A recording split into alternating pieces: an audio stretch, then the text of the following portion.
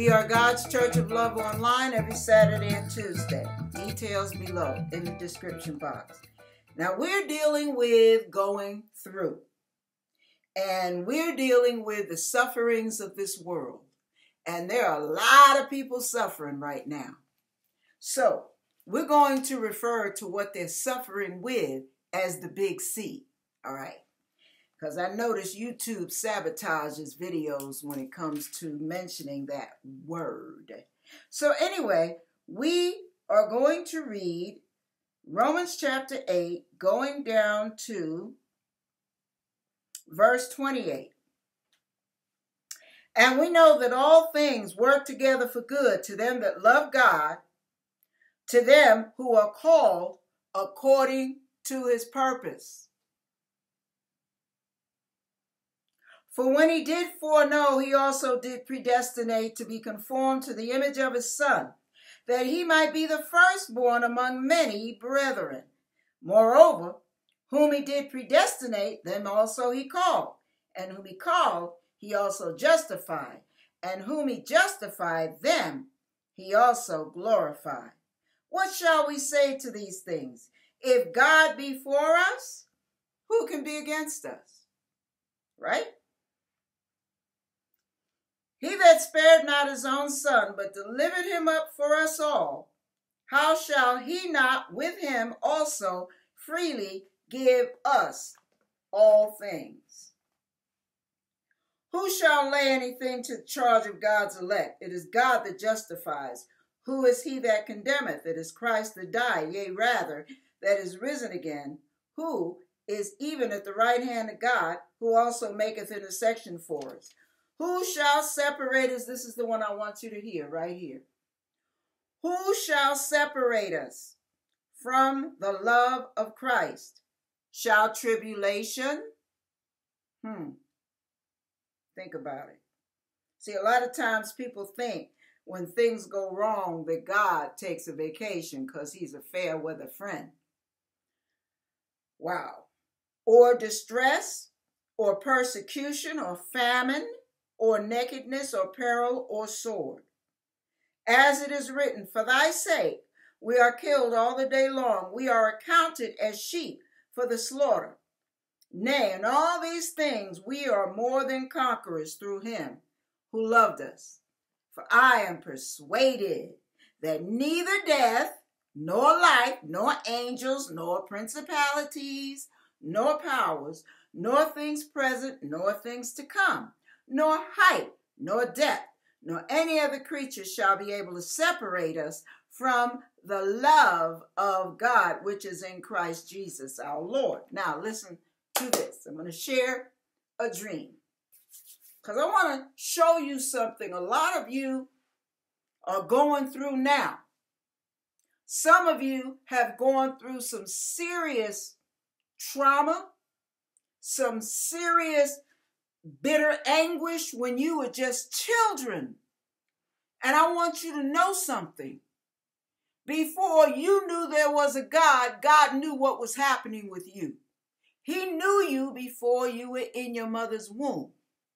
Now, the Lord gave me a dream, and I don't know who this is for on YouTube or in our group. I don't know who this is for.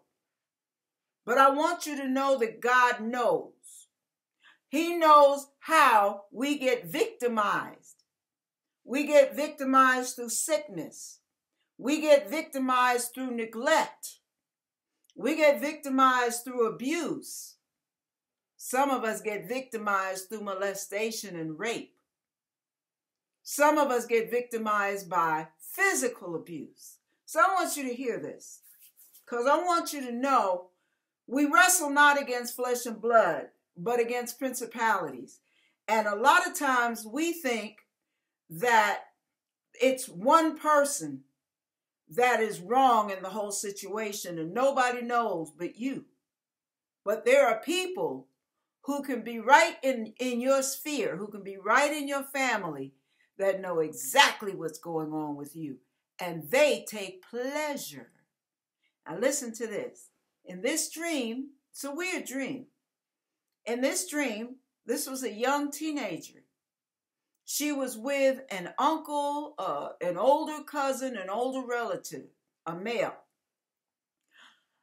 They were all normal family, and then all of a sudden he got her alone. How it happened, that part I don't remember, but listen to this. He overpowered her. And she kept saying, Don't touch me, get off of me. She was squealing and wiggling and writhing, trying to get out of his grip. But he overpowered her. The man raped her repeatedly. And it didn't just happen that one day. Now, listen, listen to this. While he was raping her and she was screaming and hollering and begging him to stop, her aunt was outside of the building and she overheard the whole thing. You know what she did when she overheard the whole thing going down? Grandma was sitting up there laughing and grinning like she was really enjoying this. And see, the Bible says don't celebrate somebody else's calamity. But this chick was celebrating. She was having fun. This thing was entertaining to her to listen to this girl begging this man to leave her alone. And it showed it happening twice, where she overheard it twice, two different times. And she was just grinning. She was like, I got to show you the facial expression. It was like it was happening over here, and she knew exactly where the room and the window was, and she was just like picturing what was going on, and she was just grinning, like enjoying it. She was basking in that crap. Now, trust me, there are people in your lives that want to see you hurt. They want to see you writhe. They want to see you beg, plead, cry. Right. And they take extreme pleasure, very sadistic pleasure.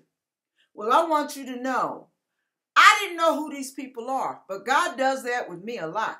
He gives me dreams of things that are happening to someone else. So I want you to know if He can give me a dream, He knows what's going on. God knows what's going on. Plus, He can undo that damage and heal that young lady's hurt if she gives a heart to Him. And I say to you, if anything like that has ever happened to you, God can take away your shame, which is, there's no reason for it when you're victimized. God can take away your shame. God can take away your bitterness, your anger, your, your rage. He can take it out of your heart and uproot that mess so it no longer sabotages, cripples, or limits you. Now that's a memory. That's a bitter experience. That's a painful experience. Who knows if she would never marry again? Who knows if something like that would be pounced on and taken advantage of by demons of homosexuality to turn her in another direction? Who knows how that could happen? Who knows if it could turn her into a promiscuous woman because she feels like that's all she's worth? You have no idea the damage this stuff can do. But I am here to give you one bit of good news. Jesus Christ can uproot it.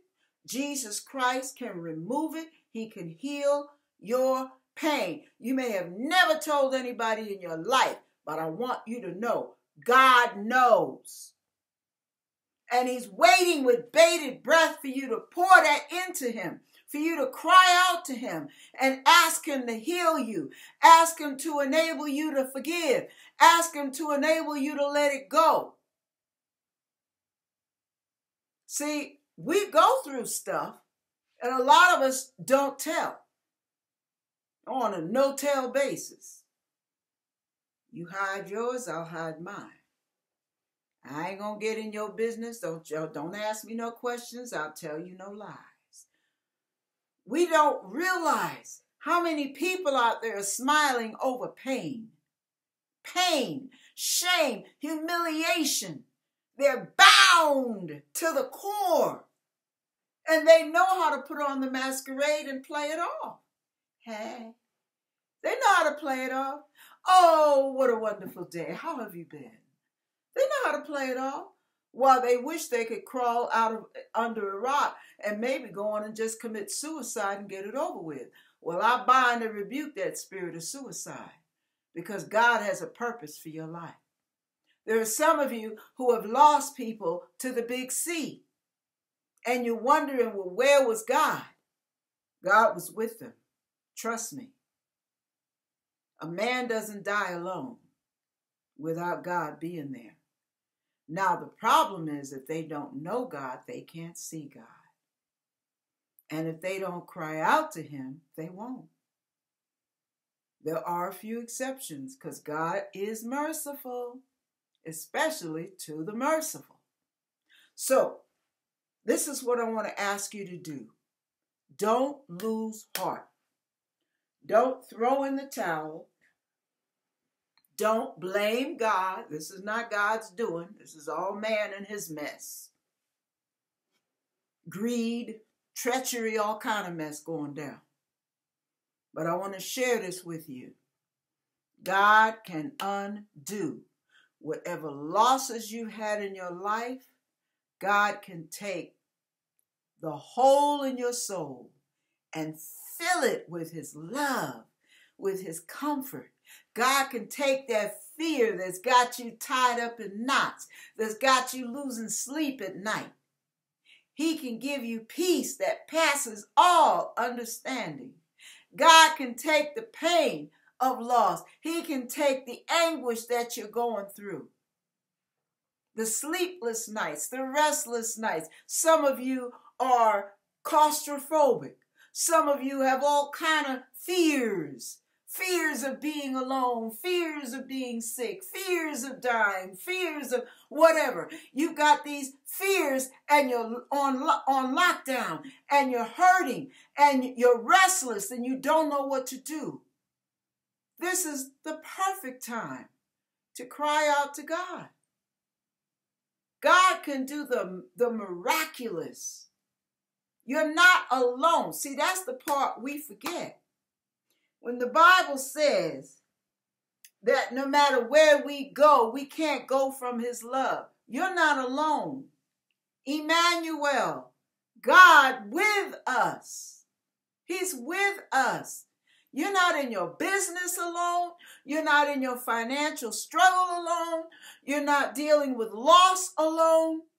Not at all. When when my father passed away, I was at the park after we Uh, finalized everything that night that, that he died. My sister, my niece, and I went to Farnsworth Park. We sat up and watched the sun come up. Now, check it out. I found out what the Bible meant when it said, He'll give us peace that passes all understanding. My father and I were thick as thieves. We were we were close. He was my daddy. I was a daddy's girl. He was my champion. He was my hero. But let me tell you this. I felt, and I was explaining it to my niece and my sister. In the middle of all that mourning, I felt as if I was suspended out in outer space and everything was perfectly still around me. It was the most bizarre experience. And I told my niece, I said, I'm not hurting. It went away. Everything is perfectly still.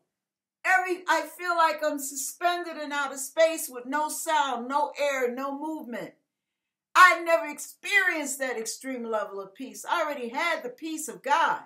But this was that peace that passes all understanding. God can override your tsunamis. God can override your earthquakes. Somebody feels like there's a serious shaking going on and they're afraid that everything in their life is going to collapse. I had that dream last night too. That's how I know. So let me share this with you. And I got to read it. Father, thank you. Pour your spirit out on this word, Father. In Jesus' name. Psalms 46. God is our refuge and strength, a very present help in trouble. Therefore will not we fear, though the earth be removed, though the mountains be carried into the midst of the sea, though the waters thereof roar and be troubled, though the mountains shake with the swelling thereof. There is a river, the streams whereof shall make glad the city of God, the holy place of the tabernacles of the Most High. God is in the midst of her. She shall not be moved. God shall help her, and that right early. The heathen raged, the kingdoms were moved. He uttered his voice, the earth melted. The Lord of hosts is with us. The God of Jacob is our refuge.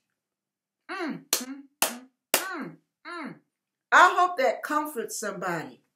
Come, behold the works of the Lord, what desolations he has made in the earth. He maketh wars to cease unto the end of the earth. He breaketh the bow and cutteth the spear in sunder. He burneth the chariot in the fire. And here's, here's for you. Be still and know that I am God. I will be exalted among the heathen. I will be exalted in the earth. Mm. The Lord of hosts is with us. The God of Jacob is our refuge. There are times, there are times when I'm hurting. I'm going to share with you a little secret. Last night I was crying my eyes out. I wasn't crying because I was scared. I wasn't crying because I was because I was lonely. I wasn't crying for any of that. I was crying because I was frustrated. Lord, I'm trying to do this ministry for you, and it seems like everything, YouTube is sabotaging everything I do, no matter what I do, no matter how hard I try to put to put some excellence together, no matter how long I spend hours and hours and hours and hours of editing and editing in and editing out and timing, and no matter what I do, it seems like it comes to nothing. It seems like it goes up in dust. And I'm tired of it, Lord. And I'm telling you, I cried. I cried. I cried. I complained and I cried. I wasn't complaining about God. I was complaining about this internet crap.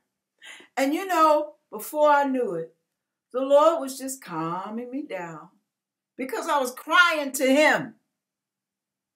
The Lord was calming me down, gave me uh, messages on YouTube, TD Jakes and some others about not giving up, not being so quick to quit, not throwing in the towel out of frustration. You know, God, He knows how to keep you. He not only keeps you in perfect peace, whose mind is stayed on Him. God is the lifter up of our heads. God will comfort those that mourn. God will give you beauty for ashes. That's the ministry. That's what he does. But you have to go to him while you're going through all this madness. Don't look to Trump. Don't look to the government. Don't look to Congress. Look up to the hills from whence cometh your help.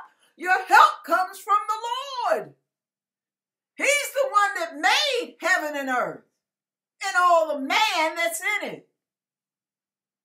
Look up to the hills. He's the lover of your soul. He's your comforter. He's your paraclete. He's always right there alongside.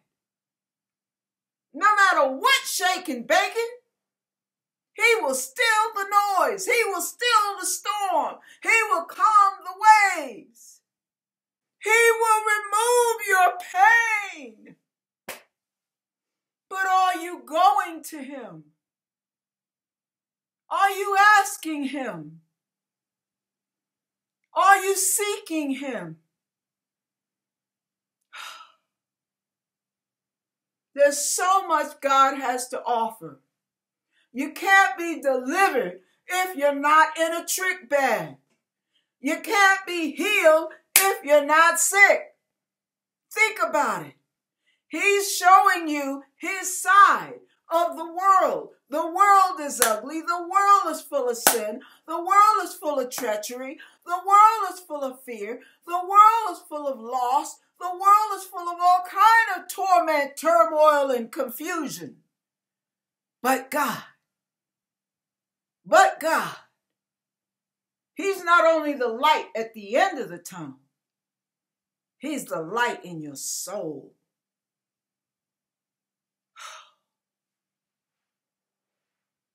Seek God while he may be found. Cry out to him. The Bible says, pour your heart out to him. Don't try to handle this alone in your own strength. You're too puny. I'm too puny. When things get too big for you to deal with, as the as the commercial said, too big to eat. If it's too big, go to the one who's in total control. He'll knock that thing back down to size for you so you can step over it and walk around it. And you can keep on trucking, baby. You won't have to sit down with your thumb in your mouth and tears running down your face and curling up in under a blanket saying, forget it. Stop the world. I want to get off of this mess. No, God will give you all the gasoline you need to keep you going. Keep on trucking, baby. That's right. Don't give up. You got to keep on trucking. And you can do all things through Christ who strengthens you. You're more than a conqueror. You're not a wimp, you're a conqueror. Don't lose hope. Please don't lose hope. Don't drop your faith because man and life has let you down. No. There are some people when they get so sick, they don't want to come back. They don't want to recover.